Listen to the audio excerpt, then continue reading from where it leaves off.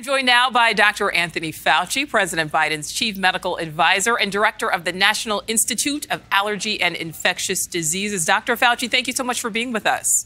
Good to be with you. Thank you for having me. Oh, so you said a few weeks ago that we are out of the quote full blown explosive pandemic phase. So, Dr. Fauci, what are we in right now, particularly since we are really starting to see an increase in cases throughout the country? Well, First of all, it's important to point out that the pandemic is not over. We are still having a pandemic. The cases came down for what I referred to as that explosive phase where we're having 900,000 cases a day and tens of thousands of hospitalizations and over 3,000 deaths per day. We're much lower than that right now, but we are creeping up again. And that's one of the concerns that we have that as we start to creep up with cases and hospitalizations, although as shown on the chart there, it's not nearly as high as the peak as we have. It's going in the wrong direction. And therefore, we can't let our guard down, which is the reason why we continue to emphasize to people that if you've not been vaccinated, get vaccinated.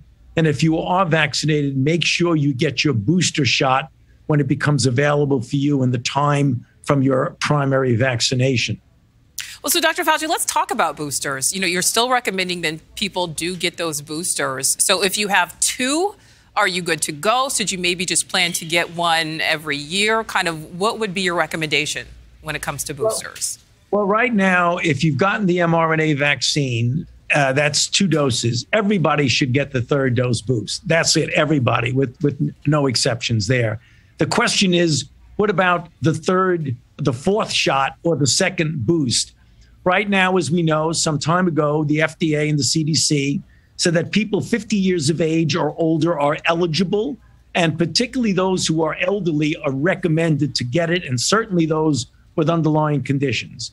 So that stands. And I would recommend that if people are in those categories, they do get boosted. The real question that the FDA is now seriously considering, and we're getting data to help inform us to make the right choice, is that as we get into the early fall, we're going to be making a decision this summer about what of the boosters should we be giving.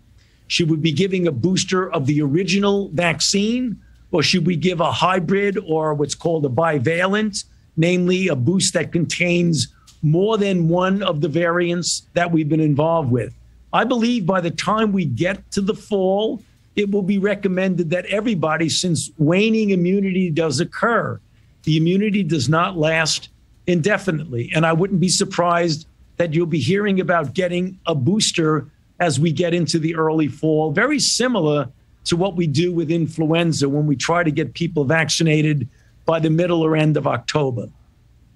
So, you know, if these case numbers keep going up, is it realistic after so much mask fatigue um, to maybe see cities and school districts reinstate those mask mandates? Because the reason, you know, for putting those mandates in place would still exist, but people at this point, do you think they're willing to go back to wearing masks again? You know, obviously, it's a very, very charged and sensitive area when you use the word mandate it creates a lot of bit of difficulty. One thing I could say for sure is that if cases go up, you would recommend that people actually do put a mask on when they're in indoor congregate settings. Whether or not it's mandated, it makes good public health common sense that if you have a big outbreak of infections in your community and you see that happening around you, that when you get into an indoor setting, you use some common sense and wear a mask.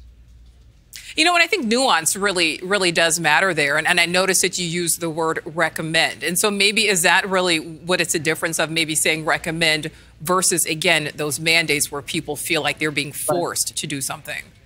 You know, I think that's a very, very good point. And that's the reason why I try to stay away from the word mandate. You use the word mandate and you immediate trigger an almost radioactive reaction that people say you're trying to force them what to do. I take a different approach. I say, what kind of risk are you willing to take, particularly if you're an elderly person or a person who has an underlying condition, or even if you're very healthy, but you live in a household with someone who is vulnerable to a severe outcome? So that if you get infected, and even though you don't get a severe outcome yourself, you bring the infection home, and might create a serious difficulty for someone that you care about. My feeling on that is I would recommend, if that's the situation with you, that you do wear a mask when you're indoors. I don't use the word mandate. I say it might be common sense to do that. All right, that's fair. And, you know, Dr. Fauci, we've now been in this pandemic for entering the third year at this point. There have been lots of ups, lots of downs. We want to ask a personal question now. Do you see yourself doing this job at this time next year? I don't know. I'd have to be perfectly honest with you. Right now, I'm focusing on the challenge at hand, which is to make sure that we protect as many people as we possibly can I don't think about what you just said. I mean, someday I will, but I'm not doing it at this moment. All right, that is a fair question, and and basically, is this just again? I know that's something that we've talked about uh, before. I know it's something that you certainly have commented on, but you know, shifting from pandemic to endemic, is this really something we just have to learn to live with? The case numbers going up, case numbers going down. That's really just kind of the way of life at this point.